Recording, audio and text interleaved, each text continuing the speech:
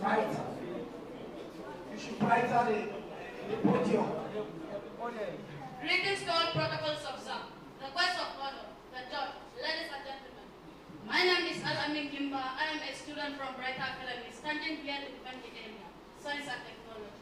But before forging ahead, I would like to introduce this kind of new technology for you to see.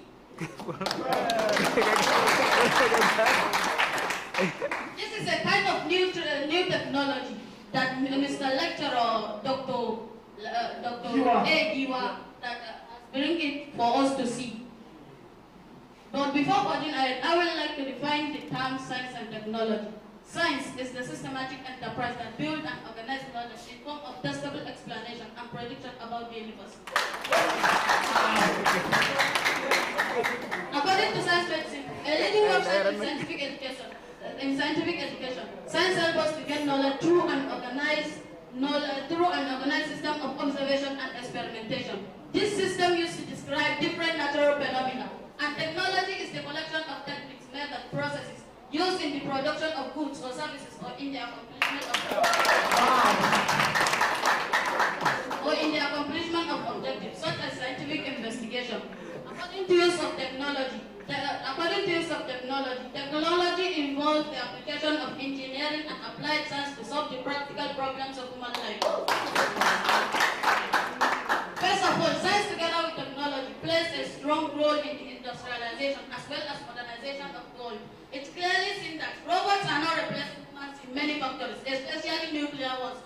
Moreover, there is no doubt that our daily life has been made a lot of convenient thanks to the help of science and technology.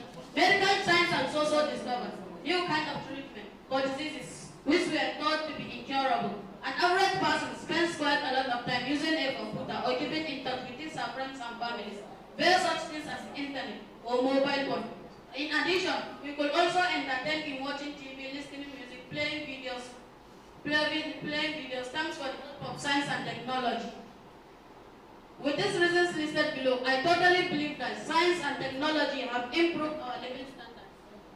Advent of mobile phone, solar power, and many other technological equipment have made life easy. The country called superpower attained to that level based on their technological, based on their development in technology. Places like Saudi Arabia, which are unfavorable, are now habitable areas due to their development in technology.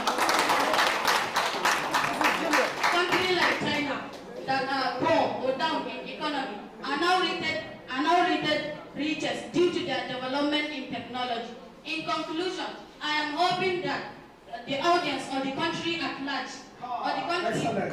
which is in conclusion, I am hoping that the audience or the country at large will become pleased with my view and to give more emphasis on, and to give more emphasis on this development of the country. Excuse me.